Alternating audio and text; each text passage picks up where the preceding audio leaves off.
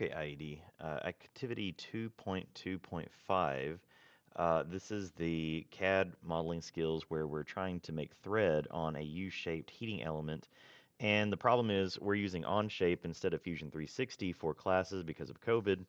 And threading is really weird on Onshape. So the way that we get around weird threading on Onshape is we download or we install an add-on onto Onshape so that we can actually use uh, the feature of threading without having to use the helix pattern and create a helix and then do a cut.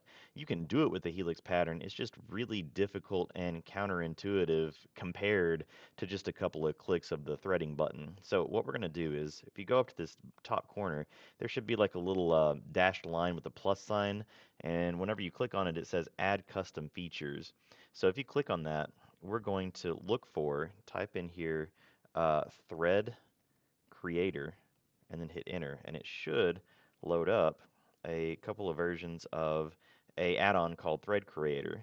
I'm going to go ahead and just, I mean, there's version one and version two. I'm going to be really honest with you. I don't know the difference between the two. Like, I don't know what upgrades there are, uh, but I'm just going to go ahead and just, going to click version two and install it. So if you click on this, it should install it right to it. To find the thread creator, you would click on that plus sign again, and it should show up right here. If it doesn't show up, go ahead and just like uh, refresh the page or go back out of the document and then go back in and you should be able to see thread creator here. If you just hit add and then you just like wait for this to load, sometimes it doesn't load up.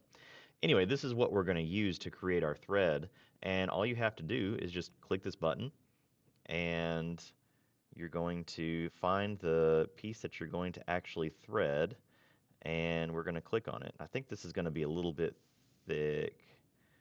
Oh yeah. All right. So like it like literally shreds and, and the entire pipe.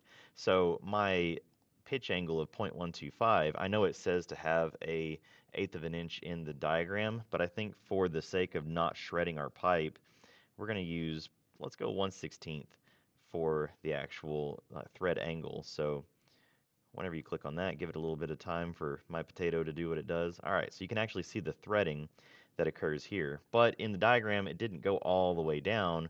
It only went um, a, a certain amount. So instead of saying fully threaded, you're just going to click on this box and you're going to go to distance. And in the diagram, it said that it was a half inch. So the thread length, instead of 2.31 inches, we're going to change it to 0.5 inches. And then we're going to hit the green check mark. And you should have a half inch threading that goes this far for the pipe. Okay.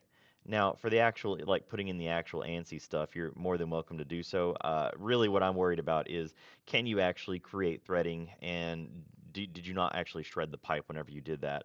So um, keep in mind, like if you have to put in specific dimensions, make sure you check with your teacher on the specific thread types that you need.